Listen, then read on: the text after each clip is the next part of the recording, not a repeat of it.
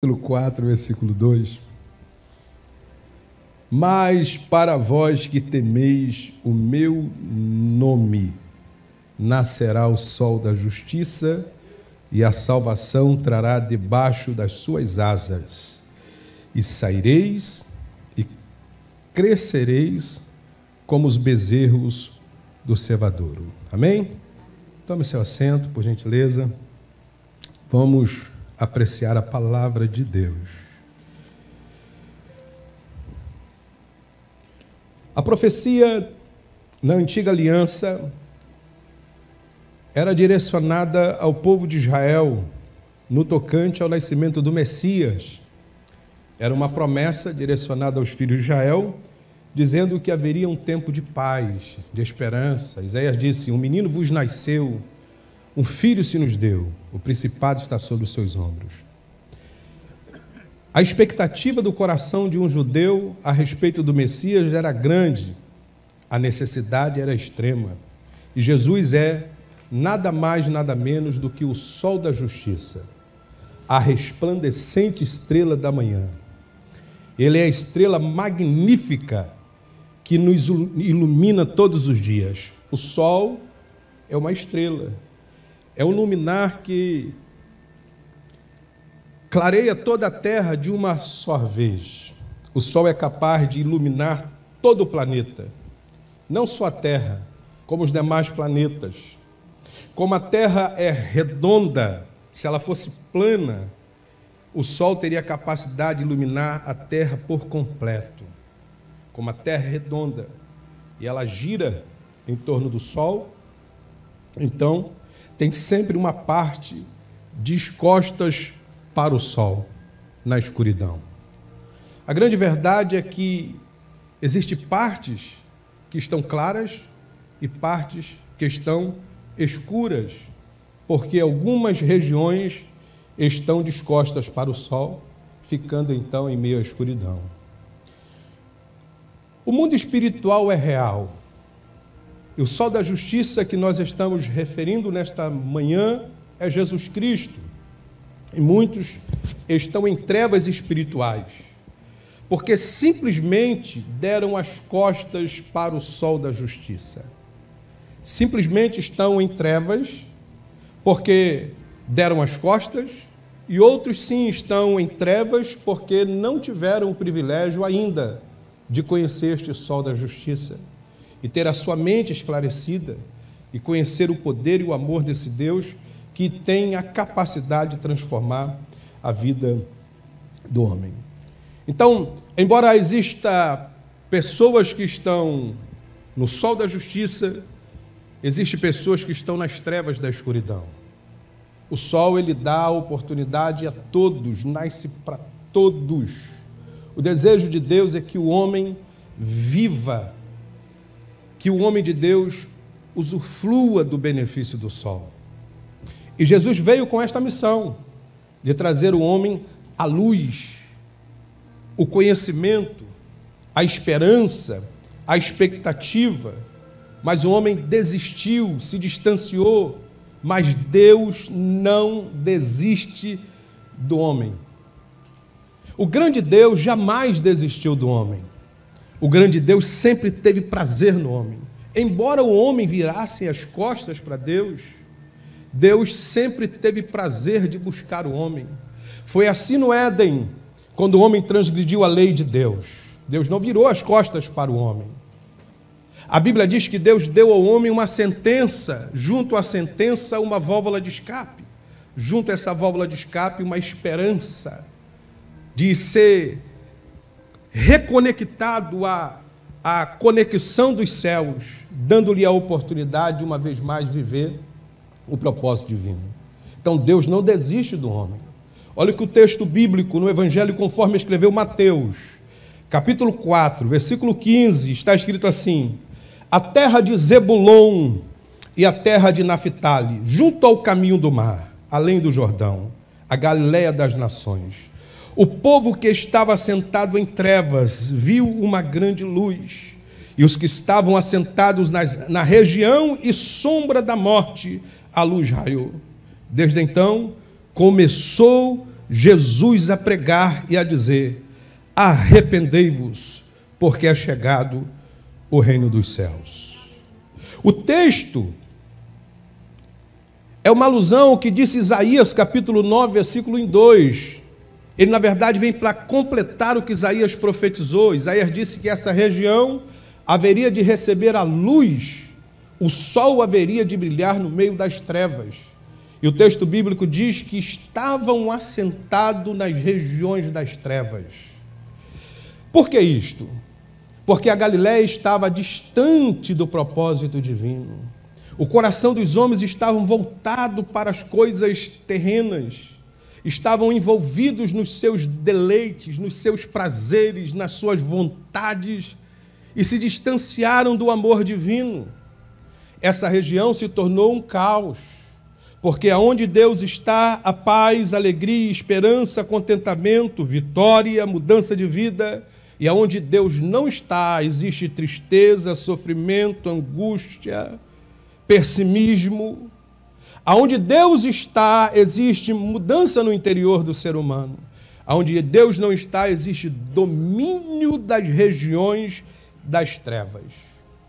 Essa região da Galiléia, ela, ela era tão envolvida em trevas que o próprio rei de Tiro, se você busca o contexto da, contexto da história de Tiro, você vai entender que a palavra cabala tem origem nessa cidade, Tiro. A palavra cabala quer dizer adoração aos anjos misteriosos. Adoração aos demônios se davam em Tiro. Sacrifício de crianças no altar a Baal em Tiro. A cidade de Tiro era uma cidade demoníaca, de muita prostituição, de, muitos, de muitas oferendas. A Bíblia diz que quando Salomão, com coração grato pelo que Irão, rei de Tiro, acabara fazendo por Davi, o seu pai, deu algumas terras, foram 20 cidades da Galileia, que Salomão deu a Irão, rei de Tiro. O rei de Tiro simplesmente desprezou aquela região, porque aquela região era uma região de um caos. Nem aqueles que estavam totalmente envolvidos pela prostituição espiritual gostariam de ter aquela cidade ou de estar naquela cidade por causa da devassidão moral, espiritual, pela crise vivenciada naquela terra. Por esta razão, Irão, rei de Tiro, ele rejeita a Galileia, ele rejeita as 20 cidades de presente que Salomão lhe deu. Mas, quando a profecia está prestes a se cumprir, a Galileia começa a receber um mover espiritual, porque todo mover espiritual, antes de acontecer aqui, ele começa a acontecer nos ares. Os demônios são territoriais, eles trabalham em territórios. Aquela cidade, ou as cidades da Galiléia, estavam dominadas por demônios, por opressões, demônios que levavam as pessoas à prostituição, à destruição do seu próprio corpo, levavam as pessoas às drogas, à destruição do seu próprio corpo. O templo, ora, erguido por Deus, que deveria receber a manifestação da glória do eterno, já não podia receber, porque a região estava dominada pelas trevas.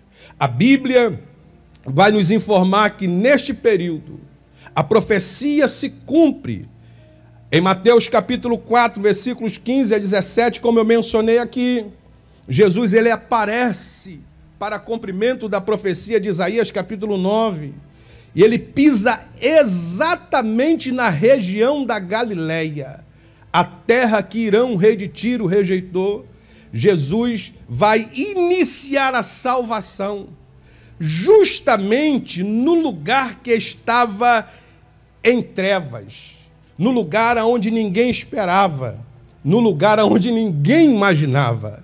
Eu tributo louvores a esse Deus que é grande e extraordinário, que começa onde ninguém imagina, que faz coisas grandes aonde ninguém espera que estabelece tempos de mudança onde o pecado está sobremodo avançado. E aonde abundou o pecado, ele é extraordinário para fazer superabundar a graça. Esse favor extraordinário de Deus. Então a Bíblia vai dizer que ele inicia o seu ministério na região da Galileia, ou seja, na escuridão.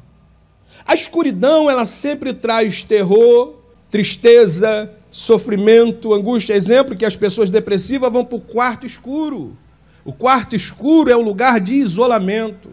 Jesus começa o seu ministério na escuridão, que no hebraico quer dizer muape, ou seja, lugar de tristeza.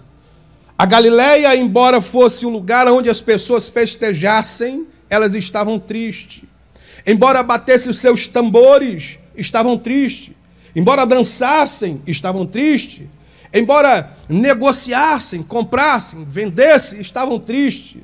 Porque só tem um que pode realizar o desejo do coração do ser humano, trazendo o bem mais precioso que o homem almeja e deseja, chamada paz. É o príncipe da paz. Isaías disse: E o seu nome será maravilhoso, conselheiro, Deus forte. Complete.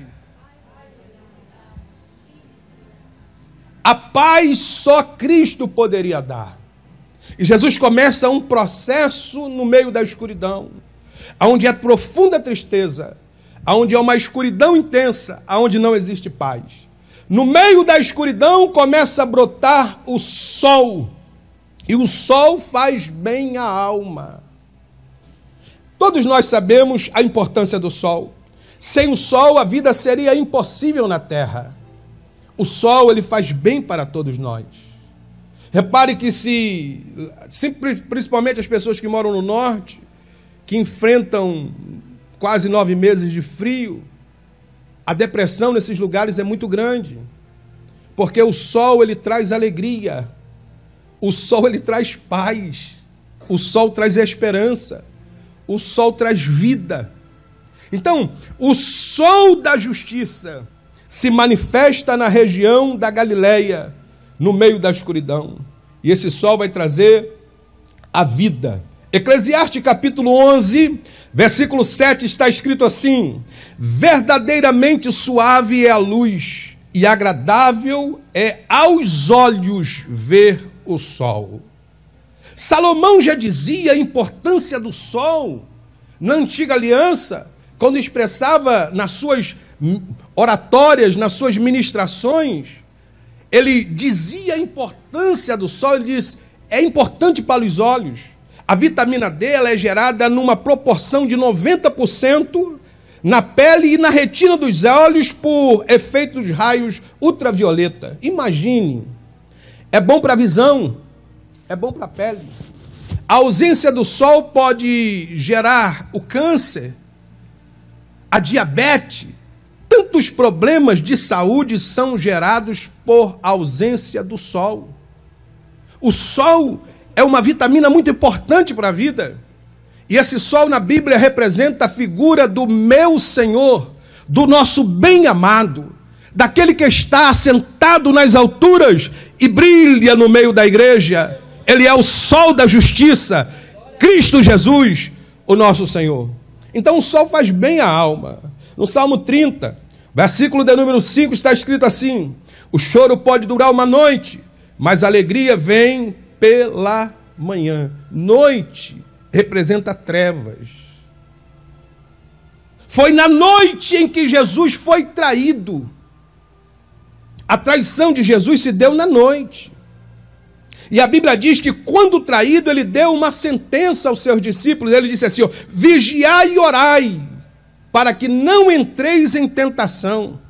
A noite vem para todos. A noite, o período de trevas, o período de silêncio, o período de tristeza se apresenta na vida de todos. Ninguém se sinta privilegiado por estar passando por alguma dificuldade na vida. Esse problema passa na casa de todo mundo. A tristeza, o sentimento que nós não temos força para nos levantar, que nós não somos amados, aquele sentimento triste que toma conta da nossa vida, que nos deprime. Isso vem sobre todos. Só que a Bíblia diz que na noite em que Jesus foi traído, ele deu uma sentença, ele diz assim: ó, vigiai e orai. Por quê? Porque a noite é um período, é um processo, é uma etapa da vida que não pode ser enfrentada com um sorriso. Ela precisa ser enfrentada com oração. Ela precisa ser enfrentada com dedicação com prudência, com vigilância, para que o homem não venha murmurar no momento da sua aprovação. Jesus está dizendo: vigiai, porque é uma fase. E uma fase certamente vai passar. Eu lembro-me de um amigo meu que, no período da sua grande tribulação, por aguardar um processo, ele fez a inscrição para o Estado, passou, foi um dos primeiros a passar, e estava vendo os seus amigos sendo convidados, ou as outras pessoas não crentes, sendo chamadas primeiro do que ele. Eu estava num monte orando com ele. Nós estávamos com as mãos levantadas quando eu ouvi ele dizer assim: Que Deus é esse que abençoa o ímpio e não me abençoa? Naquela mesma semana, este irmão recebeu o convite e, e se ingressou no Estado. Nunca mais teve força para servir a Deus. Porque no período da aprovação, nós decidimos se nós vamos adorar ou se vamos reclamar. E nós precisamos aprender que a noite é um, é um período, é uma fase, isso passa. Você tem um pai que ama você, você tem um pai que gosta de você, você tem um pai que quer abençoar você, você tem um pai que abre a porta para você, você tem um pai que te ajuda, mas você tem um pai que é homem pra caramba. Ele não te isenta das provações porque ele quer forjar caráter. E caráter são forjados nas provações, nas guerras. Ninguém se torna grande homem porque está vivendo a bonança. Os grandes homens são forjados na lona na dificuldade, na pressão. Então Jesus disse: vigiai, porque a noite vem, como veio para mim, vai vir para vocês também. A noite espiritual, o período de trevas. No período de trevas você luta ou você se entrega na noite. Quantas pessoas nós conhecemos que se entregaram à noite, que se distanciaram de Deus, que foram para o mundo de devassidão, de prostituição moral, espiritual e daí por diante? porque não foram guerreiros para lutar no tempo da noite. É importante saber que as pessoas vão até nos ajudar, as pessoas vão até nos estender as mãos. Alguém vai empurrar esse Fusquinha 64 para ele pegar no tranco e andar. Mas a principal parte, quem faz, somos nós que estamos vivendo a noite. Para sair desse período da noite é necessário que cada um de nós tenhamos a capacidade de pensar, de reagir, de mudar conceitos, forma de proceder. Se queremos resultados diferentes, as atitudes também precisam ser diferentes. Pessoas que entram no período da noite e se assentam, quer dizer, se acostumaram com a escuridão. A escuridão já não mais lhe incomoda. Olha o que diz o texto de Mateus 4,16: O povo que estava sentado em trevas viu uma grande luz. Quando a luz brilha, nós precisamos reagir. A grande verdade é que Deus vai sempre nos dar ou nos mostrar uma luz vindo brilhando no fim do túnel. A intenção do Senhor é que todos nós venhamos reagir. A reação forja o homem e faz o homem ser um guerreiro que ora estava sentado, desanimado, desestimulado. A luz de Cristo brilhou. Então alguém se levanta, reage e luta. E essa luta ela se dá à noite. Foi na noite que Gideão atacou os midianitas. A Bíblia diz que à meia-noite Gideão se levantou e atacou os midianitas. Aquele período que o diabo te ataca, você precisa aprender a contra-atacar. Muita gente está sendo atacado no período da noite espiritual, está passivo. Não, contra-ataque. Se levante a hora que o diabo gosta e deseja de atacar à meia-noite. A meia-noite mostra um período decisivo da vida, está exatamente no meio. Ou fica parado, ou prossegue, ou se entrega, ou vence a batalha, ou se levanta, ou morre de vez sentado. Então o Senhor está dizendo: à meia-noite, guerreiros se levantaram e venceram as guerras. A noite espiritual ela surge, o tempo de guerra está travado na nossa vida. Aí vem a Bíblia nos orientar que o período das trevas não pode ter domínio sobre aquele que um dia foi transportado do império das trevas para o reino maravilhoso do Filho do seu amor. O reino de Deus é um reino de luz. O que brilha em nós é a luz de Deus na pessoa do Espírito Santo que está em nós. Então os guerreiros eles vão se levantar no período da noite, no período em que o diabo está pensando destruir o, servo de Deus. Acabei com ele de uma vez só. Foi exatamente assim. Sansão julgou a causa, ou seja, Sansão se levantou e arrancou os portões da cidade de Gaza à meia-noite.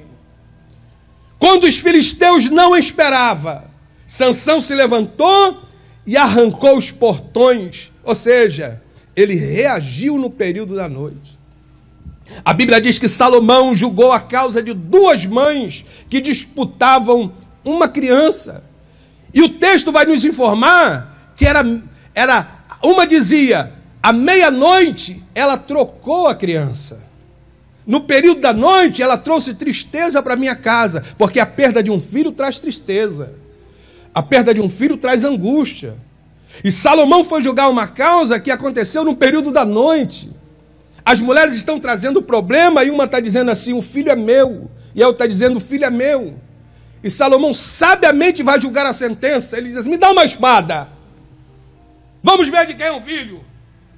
Vamos fazer o seguinte: a parte de baixo você leva e a parte de cima é sua. Aqui era a mãe da criança que estava vivenciando o período da noite. Porque mãe quer sofrer, mas não quer que o filho sofra. Quem ama é assim, sofre, mas não faz sofrer. Quem ama é assim, suporta e não deixa sofrer. A mãe verdadeira diz assim: dá o filho para ela. Salomão vai julgar uma causa que acontece no período da meia-noite. À noite, a Bíblia diz que Paulo e Silas estavam numa prisão em Filipos. Estavam à noite, iniciaram a noite na prisão. E a Bíblia diz que no período da noite eles não se assentam e ficam lamentando a vida ou questionando. Simplesmente eles buscam o sol da justiça dentro do cárcere. Nós precisamos entender que o sol da justiça ele está à disposição de nós. E ele só brilha quando nós desejamos, quando nós o buscamos, quando nós entramos em tua presença. Nós cantamos uma canção aqui, hoje eu acordei o sol. Os discípulos acordaram o sol uma vez no barco, ele disse: "Vamos despertar ele". Ele não se dá que nós estamos perecendo, ele está dormindo, então nós vamos despertar ele. Nós vamos levantar ele, porque só ele pode mudar o quadro caótico da vida que nós estamos vivendo. Vamos chamar ele. Aleluia. A Bíblia diz que Paulo e Silas, quando estavam na prisão, eles começam a fazer uma coisa que desperta o sol da justiça. Eles começam a orar e cantar. São duas coisas importantes no período da noite. O diabo faz tudo para calar a boca de um adorador. Você sabia que a melhor parte do dia para se apresentar louvores a Deus é a parte da manhã? Embora seja uma hora que a voz não está muito boa, porque você levantou cedo, mas a parte da manhã, o melhor momento para você apresentar louvores a Deus é a hora que o seu coração ainda está pronto, puro, limpo, depois de uma noite tranquila de sono. Você se levanta pela manhã e começa a tributar louvores ao Deus Todo-Poderoso. A Bíblia diz que eles estavam presos, mas não estavam desanimados. Estavam presos, mas estavam motivados. A escuridão não roubou a paz do coração. Porque eu e você, quando passamos pelo processo da escuridão, não podemos perder a motivação, porque Deus é Deus nos montes, mas é Deus também nos vales. Deus é Deus quando você está em cima de mãos erguidas, mas é Deus quando você está com a boca no pó chorando também. Você não pode perder a motivação, porque o mesmo Deus que te abençoou lá atrás é o mesmo que continua te abençoando hoje, vai te abençoar amanhã, e o inferno precisa ouvir isso. Você tem um Deus que te ajuda, que te fortalece, que te esforça e te sustenta com a destra da sua justiça. Então eles cantaram, buscaram a presença de Deus. Você atrai, atrai a presença de Deus quando você louva. Irmão, se tem uma coisa que mexe com o coração de Deus, é um crente na prova cantando desafinado mesmo, não importa. Um crente, quando começa a adorar, parece que o desafinado Deus coloca um filtro. A parte maior está aqui no ouvido, a fininha lá no ouvido dele. Vai chegar fininho lá em cima. E não importa se é fora do tom, não importa. Quando você está vivenciando a prova, você abre o seu coração e começa a dizer: Senhor, quão grande és tu, Senhor. Então minha alma canta a ti, Senhor, quão grande és tu, Senhor. No meio dessa escuridão, uma luz começa a brilhar. A Bíblia diz que veio um terremoto sobre o cárcere. A prisão de Filipe se estremeceu. E a Bíblia diz que à meia-noite, quando Paulo e Silas cantavam, no período das trevas, eu não estou falando em cantar no, durante o dia, no tempo da bonança, no tempo da paz, no tempo da tranquilidade. Não, porque nós não podemos ser só crente quando está dando tudo certo. Porque quando está dando tudo certo, nós somos aqueles crentes fervorosos, não é verdade? Animados, estão à disposição de tudo. E a luta quando vem? A luta quando vem, ela não pode colocar a gente na lona. Por quê? Porque nós não somos perdedores. Nós não temos unção de perdedor. Está escrito que em Cristo Jesus nós somos mais. Mais mais, mais do que vencedores. Então, a luta pode levar a gente até a lona. Nós podemos chegar à lona reconhecendo que o nosso Deus tem uma mão de misericórdia que vai lá embaixo e pega o homem e coloca de pé novamente e diz: Diabo, tu não para ele, tu pode até aleijá-lo, mas eu tenho o poder de curá-lo e colocá-lo de pé para a glória do meu santo nome. Então, cantaram, adoraram, na noite. Irmão, só adora na noite quem teve encontro com o sol da justiça. Sabia disso? Vocês já viram aqueles vídeos do, das pessoas no baile funk no Rio? As meninas estão, as cachorrinhas, uh, uh, uh, né? E o popozão, balança o popozão, né? Já viu? Já viu, né? Aí daqui a pouco entra, daqui a pouco entra o pastor porque Deus te ama. Aí o popozão vai ajustando, vira popozinho, né? O cachorrão já não tem mais força. E você vê a menina de mãos levantada, chorando. Você sabe o que aconteceu com ela? Não suportou a noite. Se afastou do Cristo. E agora está no baile funk, tomado por demônios mas vem o Espírito Santo e toma o coração dessa menina. E por algum momento ela se lembra que já esteve no reino da luz aonde Cristo Jesus se manifesta. Você pode dar até pouca importância à igreja, irmão, mas a igreja é a única organização que existe na terra que atrai a glória de Deus. Você pode dar pouca importância à igreja, mas a igreja é o único lugar na terra que tem a capacidade de transformar o pecador em uma nova criatura. A igreja é a única instituição na terra que consegue libertar o homem da cachaça, das drogas, da prostituição, do cigarro, da macumba, da feitiçaria, do roubo, da miséria. É igreja. É igreja. É igreja. Eu só estou aqui por causa dela. Quem está aqui por causa dela, faça assim, diga aleluia. É por causa dela. É a igreja. Então eles cantavam, eles atraíram a presença de Deus. Aleluia. Irmãos, a presença de Deus, ela independe do local, ela vai ao local aonde tem alguém. O Espírito de Deus vai buscando o homem. Ele vai entrando. Aonde eu não vou, ele vai. Você se lembra do Estado Islâmico? Agora sumiu. Pessoas presas por homens perversos do Estado Islâmico. Lá no Rio de Janeiro, sendo colocada no, no, no micro-ondas, que é o, aquele pneu para ser queimado. E de repente o Senhor toma um homem de Deus e diz assim: vai tal rua, tal lugar, os traficantes estão lá, vai lá. E o servo de Deus chega e os demônios começam a estremecer. E retira a pessoa. Porque aonde eu e você não temos a capacidade de ir, o Espírito de Deus vai e sempre tem um guerreiro da noite. Sempre tem um guerreiro na noite.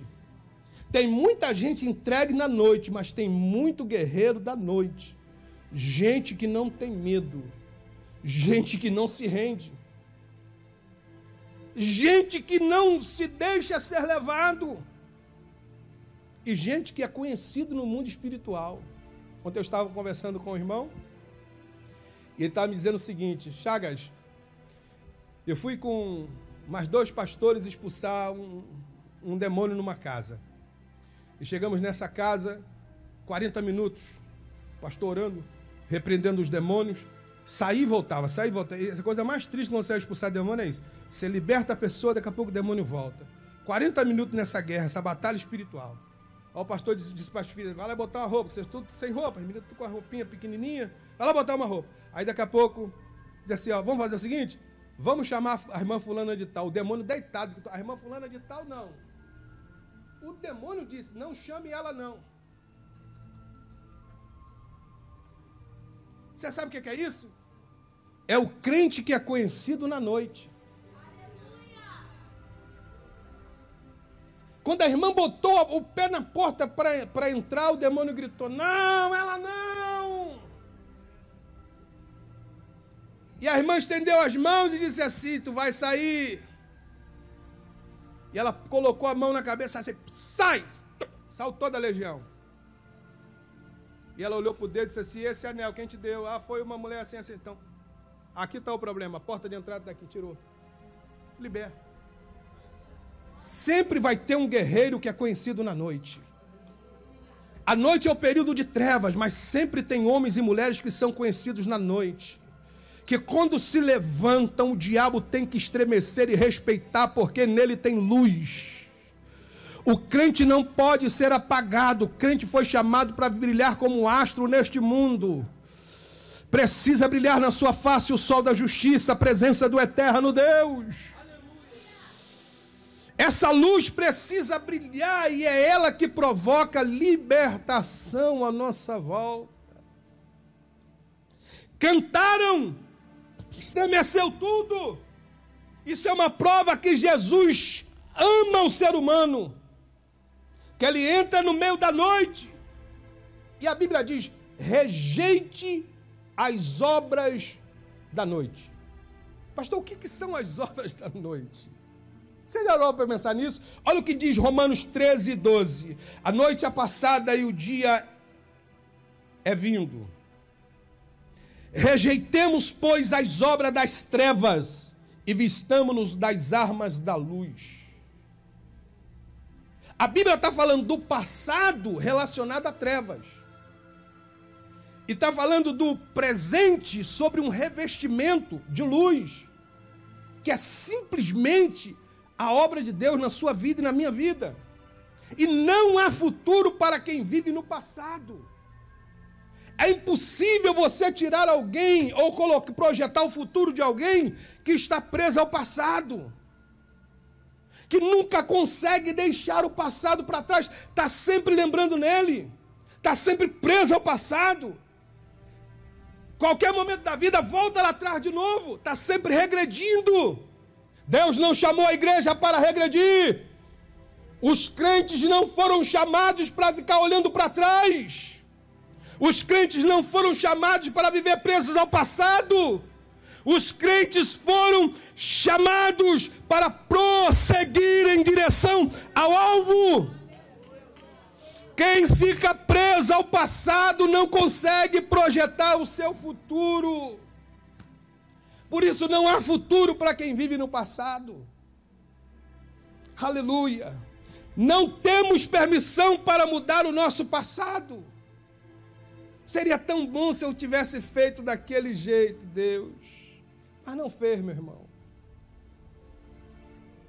Seria tão bom se eu não tivesse vivido aquilo. Não seria, não. Você só é o que é por causa do teu passado. Se não te amadurece, você volta a viver as mesmas coisas.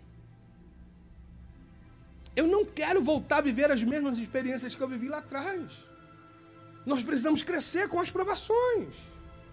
Então, não há permissão para mudar o passado, não adianta ficar remoendo, tu não vai mudar isso. Deixa o passado para trás. Levante a cabeça e faça como Paulo. Prossigo para o alvo tem uma direção na minha vida. Eu sei em quem eu tenho crido. Eu sei que Ele é poderoso para fazer infinitamente mais do que eu tenho pedido ou pensado. Então você não tem permissão para mudar o seu passado. Agora você não pode condenar o seu futuro. Você já viu a pessoa que fica presa tanto ao passado que ele diz assim, para mim não tem mais jeito. Eu já vivi uma vida de infelicidade tantos anos na minha vida. Eu já não posso mais ter um futuro. Você não deve condenar o seu futuro. Porque agora você já não mais está em trevas. Você está em Cristo. A tua vida está dividida antes e depois de Cristo. Antes de Cristo nas trevas, depois de Cristo na luz. O passado não pode mais ter interferência. Você não vai conseguir mudar ele. Agora você não deve condenar o seu futuro. Você deve se preparar para mudanças na sua vida. Mudanças para melhor. E nunca, irmão, permita que o seu passado ocupe todo o tempo do seu presente. O dia inteiro pensando no passado. Pastor, não consigo orar, está preso ao passado. Não consigo ler a Bíblia, preso ao passado. Não consigo sair, pastor, preso ao passado. Não consigo um novo relacionamento preso ao passado. Pastor, mas eu me frustrei lá atrás, é passado. Pastor, mas eu tive perda lá atrás, é passado. Pastor, mas eu sofri lá, é passado. Pastor, mas foi muito difícil, é passado. Pastor, foi tempo de guerra, foi passado. Pastor, eu vivi lá atrás um tempo de agonia, é passado. Levante a tua cabeça. Olha para a sua vida. Aleluia. Então não permita que o passado ocupe o teu presente. Você já não mais está em trevas. Quando você volta ao passado, você volta às trevas. E as trevas é a falta de conhecimento. Então evite pensar demais no passado. a Bíblia diz, ó, olhando para ele, autor e consumador da nossa fé. Aí vem Paulo diz assim, ó, pensando em todo o tempo nele, pensar nas coisas que são boas, nas coisas que são puras, nas coisas que são santas, aonde Cristo Jesus está sentado. Você sabe como é que você combate a me, combate esse mal do passado? Colocando a palavra de Deus na sua vida. Tá difícil, mas eu sirvo um Deus que é grande a batalha está travada, mas eu tenho um Deus que é grande. Teve manchas no passado, mas não vai ter interferência no meu presente. Se você não largar o velho, o novo não chega. Não é para mandar o marido embora, não, irmã.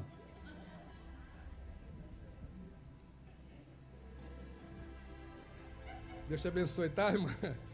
Não, não coloque isso em prática na questão do casamento, não. Tá?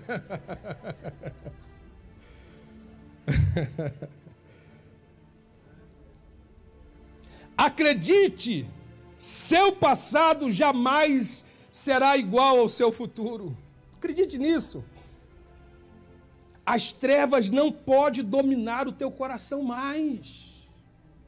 Irmão, se isso acontecer, tem alguma coisa errada.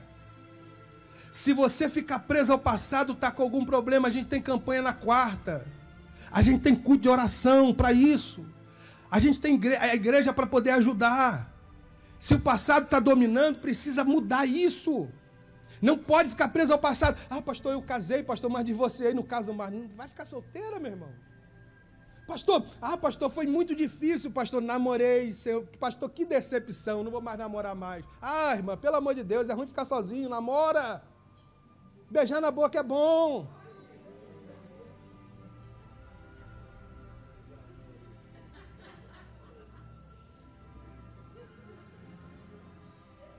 Não fica preso ao passado. Pastor, eu estou tentando. Também não vai ficar tentando o tempo todo. Pastor, de um mês deu errado, pastor. Não, não pode ser assim também não. Não pode ficar preso às frustrações antigas. A felicidade ela está à sua frente, você precisa dar um passo para alcançar ela.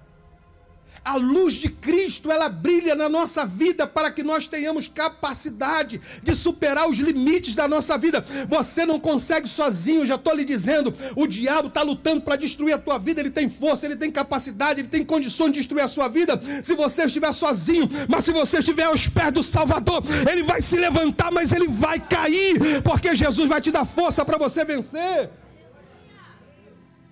Então não deixe o passado te dominar. E como é que eu vou vencer isso, pastor? Está escrito no texto: vistamo-nos das armas da luz, como está em Romanos, capítulo 13, versículo 12. Vistamo-nos das armas da luz. E que armas são essas? Você quer vencer essas guerras do passado? Vista das coisas presentes. Olha o que Deus está fazendo contigo, meu irmão. Tem gente que tem muita facilidade de lembrar da tristeza, da depressão, da angústia. Do teu... E o que Deus já fez na tua vida? E a cura que você já recebeu?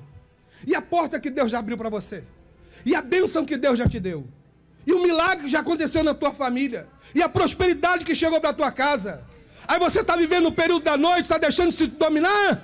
O Deus que fez antes está em Ageu 2 e 9. A glória do Senhor. Seja firme no teu propósito, meu irmão. Vistamos-nos das armas da luz. O inimigo é espiritual. Não adianta ficar com raiva de ninguém. O inimigo é espiritual. Você não luta contra pessoas. Se você estiver lutando contra pessoas, você está em trevas. É a Bíblia quem diz. Aquele que não ama o seu irmão está em trevas.